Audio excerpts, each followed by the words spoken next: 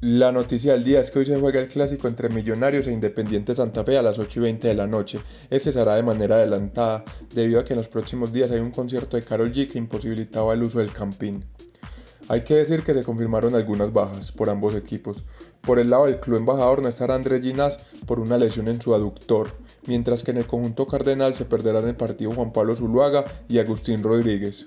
¿Quién se llevará el primer clásico del año? Nos vemos en los comentarios.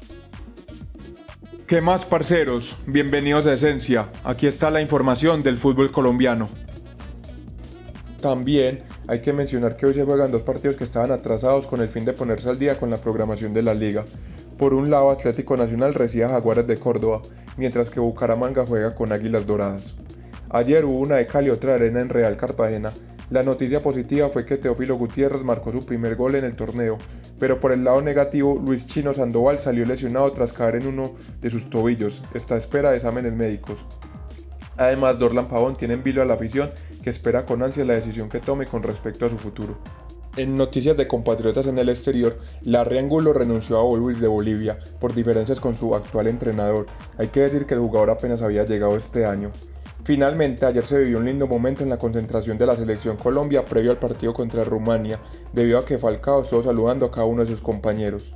Te invitamos a darle like al video para que nos ayudes a llegar a más personas y que te informes de manera rápida sobre el fútbol profesional colombiano.